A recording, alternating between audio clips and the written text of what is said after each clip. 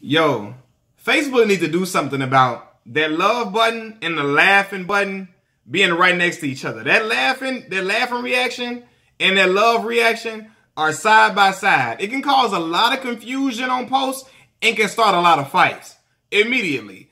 So today I'm on Facebook and um one of my Facebook friends, they posted, they put up a picture of a loved one, right? And they were just reminiscing on good times. And I was going going to love the post, right?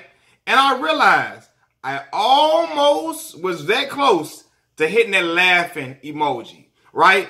And see, that would have made everything bad.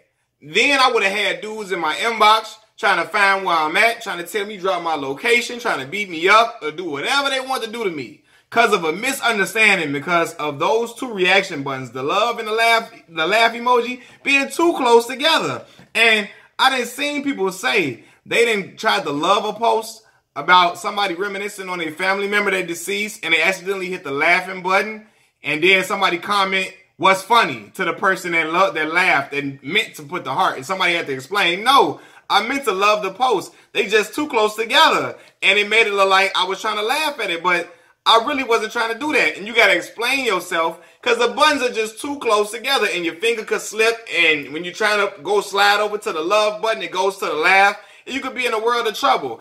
I didn't see fellas get in trouble so much, so many times, a couple of times I didn't seen it happen. Where a dude put up a picture with him and his lady, right? They have maybe it's Valentine's Day, maybe it's her birthday, maybe it's Woman Crush Wednesday or whatever. So they trying to put up their bait, trying to stunt with their girl and trying to show their girl, you know, appreciation on a post.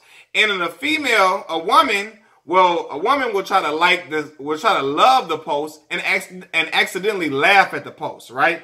Next thing you know, the dude girlfriend hitting him up. Why is she laughing at the post? What's going on? What is she trying to insinuate? What you got going on with her that she laughing? Is she trying to start drama? Why is she trying to start drama? And then you got to tell the other girl, listen, can you start? Can you um go back and switch it to a, a love? And the girl got to say, oh my God, I'm sorry, I didn't mean to do that. I tried to love it and the button's right there. It's like, like all that confusion. All that confused. You probably got that man ready to be sleeping on the couch in his household because of a misunderstanding because the girl hit laugh instead of love.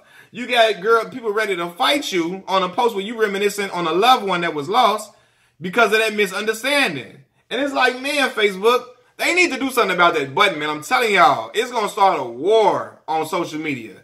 Because I, I seen it too many times, man. And I'll be like, this is just, they need to put that button, the laughing, all the way on the other end from the love button. Just put the crying emoji right next to the love button so everything can be copacetic and be cool. It won't be no confusion. Well, it will be confusion if you're trying to love a post with a person's um, and a girlfriend, because you'll be like, why is they crying on a post about us and our love? On you know, your girl be looking at you crazy. But on a post where it's reminiscing on a loved one, somebody can put a, a, a crying emoji and saying, you know, crying in remembrance or being sad in remembrance of that person. So that won't be taken. Uh, it won't be misconstrued, but that love and that laugh button, too close, too close, my friend. Facebook, I need y'all to make that change ASAP. And if y'all agree with me, let me know. If that's happened to you before, let me know. When you accidentally laughed at a post that you meant to love, and then next thing you know, everybody wants smoke with you. And you ain't trying to have no smoke at all. Look, you don't want none of that. You just trying to live a peaceful life. Next thing you know, you got messages messages in your inbox. People adding you that you don't even know, trying to fight you, trying to cuss you out in the comments section, all type of drama, man. But I'm gonna need Facebook to change that because that is a dangerous, that's a dangerous, dangerously close. And that could be a very dangerous mistake.